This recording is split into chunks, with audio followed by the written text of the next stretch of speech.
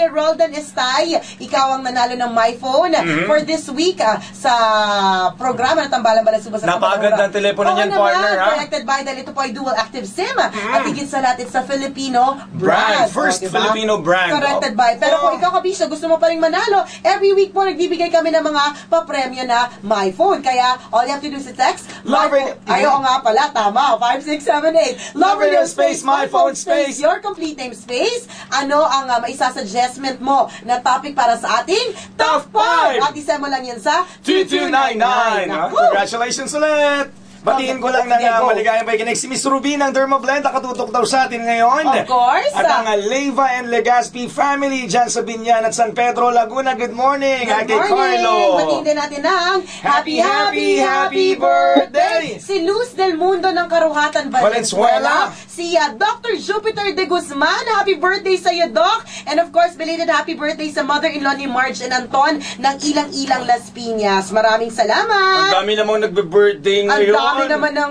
birthday kung kailan namang mga pira-pirasong tinapay lang ang kinakain namin dito sa istasyon. Wala na nga kami pangkain. eh. Wala na nga nga eh. kami. Nakaka-lurking ng bonggesyo sa The Maximum. Maganda maganda morning, Nicole Yala and Christopher. Gusto ko lang pong ah, mag-share. I Mm-hmm. work for one of the biggest company in Asia as a treasurer. Wow! Saan ka nagtatrabaho? I work ah, as a treasurer sa isa sa pinakamalalaking kumpanya dito sa Asia. Aba! Hindi lang sa Pilipinas, Asia ang pinag-uusapan dito. Corrected ba, nga. di ba? Ang akala ng maraming tao, napaka, na, napaka, nahihirapan na ako sa sipon ko, Chris.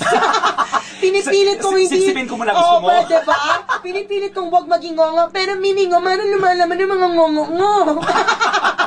Wait lang ah. Oh, singa mo muna, singa mo. Ito, ito, ito supot. Ang pangit! Sininga sa supot eh. Ang akala ng maraming tao, napakalaki ng sweldo ko Mm. bilang treasurer ng isa sa mga pinakamalaking kumpanya sa Asia.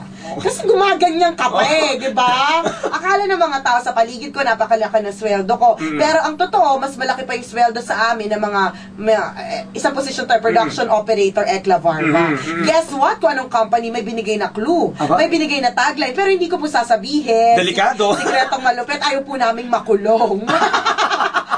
Lurkay ng bonggang-bongga. Kaya ang katanungan niya, Nicole and Chris, ano po bang gagawin ko para mabago naman ito? alam mo, kabisyo, Ah, i-relate natin ang ating sarili, partner. kung alam namin ang kasagutan, edi sana tumaas na rin ang aming mga sweldo. Hindi. Akala lang din ng Akala tao. nyo, mayaman na kami sa sweldo namin. Hindi, kabisyo! Nag-iisan lang po, nagfi-feeling-feelingan kami, kaya Corrected akala ba? nyo mayaman kami, Oo. akala nyo marami kaming pera. Correct. Akala nyo kasi dahil marami kami mga sinasabi mga produkto, hindi po yun bayad lahat. Hindi yung iba. yung ops! Hanggang doon na lang. Bawal! Magparinig. Bumabalik na naman sa aking alaala. Ang dami na naman kasi. I-relate kasi natin yung sarili Oo, natin. Para hindi, na- baka isipin mo mag-isa ka lang sa oo, nangyayari Hindi eh. ka nag-iisa sa ganyan. Maraming ganyang klase. Alam mo yung- Akala natin ganda ng posisyon. Oo. Akala natin, wow. Akala nila, wow! Di Parang, ba? parang kami, kunyari, kunyari, re-relate lang namin sa'yo, Oo, di ba? oo. Wala, walang halong mali ang pag-explain na ito, di ba? Kung matamaan ng iba dyan, hindi ko po alam kung bakit po kayo tinatamaan. Basta ang alam po namin, bawal Magparinig. Ito na nga, Mm. di ba? Halimbawa, wow! Ah, di ba? Chris Chuper. Ay, ito pa yung chismis sa akin dati. Mm. Nicole Yala, siya na ang biggest paid DJ. Oo, highest paid DJ. I wish! Sana totoo yung chismis! Nakakalurkay ng bonggesyos! Akala lang ng maraming tao, so sa kaibigan natin, sa kabi- kakabisyo natin nag-text na yun, akala lang din nila, gano'n. Oo, di ba? So, Ganun isipin mo talaga, lang. isipin mo na lang, ganun talaga. may, may, isipin mo na lang, minsan mas gusto mo Maganda yung branding mo, Oo, di ba? pero ang Pero- talaga namang natatanggap mo, eh, kakarumpot lang. Mm. Di ba? Nakakalurky lang. Pero kung masaya ka naman Katotohanan yan eh. Katotohanan, the truth hurts, di ba? Mm. Parang ang pogi mo, Chris. aray. Oh, di ba? Sakit. Karurky, di ba? Ang ganda mo naman, ikaw lang sexy mo. Ouch! Aray! Sakit-sakit naman ang katotohanan. Pero, pero para sa akin, hanggat nag-enjoy ka naman sa trabaho mo at kinakaya mo pa naman at kumikita ka naman ng okay, siguro kasi minsan may halong inggit din eh. Tingnan mo, kinumpara para mo pa yung sarili mo dun sa mga iba na mas mataas yung sweldo. Di ba? Nakakatulong ba yun yung mainggit ka? Mm, wala ka mapapala doon kapatid. So wala na nag-enjoy ka lang sa work mo. Yun na yan. eh. Oo. Pero hindi rin eh. Kailangan, kailangan din nating tumaas yung ating mga sweldo. We're not getting any younger. Hindi ko sinasabing tayo. Inire-relate po Oo, namin mga sa mga- lahat- sa lahat ng kabisyo natin, ganyan yung nang- Hindi nangyayari. ka naman tumatanda ng paurong, di ba? Tumatanda ka. Siyempre, habang, Mm. Dumadami yung responsibilidad mo. habang nag age ka, nag-iisip ka na rin na gusto mong magkaroon ng pamilya, di ba? Pero Oo. paano kung hindi naman tumataas ang iyong sweldo?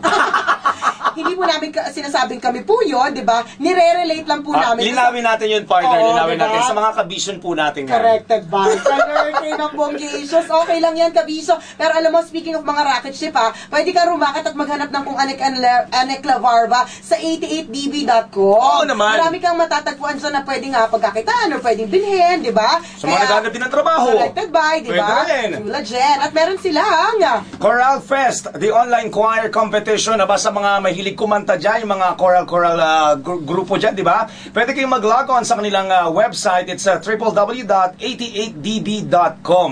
Ba, sa ating Choral Fest, maganda kanilang mga papremyo partner. Ang kanilang third place, 15,000 pesos. Second place, 20,000. At ang kanilang first place ay 30,000 pesos. Corrected Start na po ng registration yan mga kaibigan. 88db.com. At syempre pa, pagbigyan natin ng katanungan ng kabisyo natin, Tetsuwa Bell. Si Sige. Coley Allen Christopher, gusto ko lang pong tanungin, kanino ba dapat ako magalit kung malaman ko na may ibang babae ang asawa ko? Mhm. Alam naman kasi nung babaeng yon na married yung asawa ko at hindi kami hiwalay. Mhm. Sa husband ko ba ako magagalit o doon sa babae? Ah, sino nga ba nga awain mo pag ganyan? Kailangan ba bang i-memorize yan? ba, kabi? Pagpuntugin mo yung ulo nilang dalawa. Silang dalawa. Bakit yung asawa mo lang? Bakit yung babae mo lang? Mm. 'Di ba? It takes two, to tango. Kabisyo. Tugugin, cha-cha. Truly! Kalarte! so, ibig sabihin, kung gusto, ng, ginusto ng babae, Mhm. pinatulan naman ng utang na loob na Na asawa mo yan, di ba? Ako. Pagbuhulin mo, bitukan ng mga yan. Tulad yan, pagkatapos mong pagbuluhin, pagbuhulin, Mm. gupitin mo, gawin mong isaw. Ganda natin. Corrected ba? Pagkakitaan, di ba? Pero sa, sa, sa unang pagkakataon, sino ang dapat natin sisikin? Lalaki. Lalaki daw si Sian sa lahat ng bagay. Actually, hindi natin alam ito ni Nakaso eh. Oo. Maaaring nga nagparamdam din si Sige, lalaki. sige, labanan niyo ako. Dalawang lalaki kayo dito sa booth. Sige, labanan niyo ako. O sabihin niyo, sabihin niyo. nagparamdam din si babae. Corrected by. Hindi. natin malalaman. Pareho yan eh. Mm. Pero para sa... Hindi eh. O nga no? Hindi natin- depende sa kaso, depende sa by. kaso. Kasi maaring si lalaki trying to be loyal. Mhm. Pero itong si babae, Masyadong mapanukso. letter A, di ba? Kung magsuot ng damit, kulang na lang ang isuot niya pabango lang. Parang nagdamit ka pa. Kaya Di ba? letter B. Na, nahiya ka pang magdamit, di ba? pag titignan mo si babae, kala mo ulam. Sige, kainin mo ako. Corrected by. Or letter C, sa tuwing maglalakad si babae, sa opisina ni lalaki, Mm. kahit wala namang nahuhulog, tumutuwad, may pinupulot. Di ba? Matindi, no? Hindi, sa nakikita ko lang talaga dito, ugat ang kasalanan babae eh.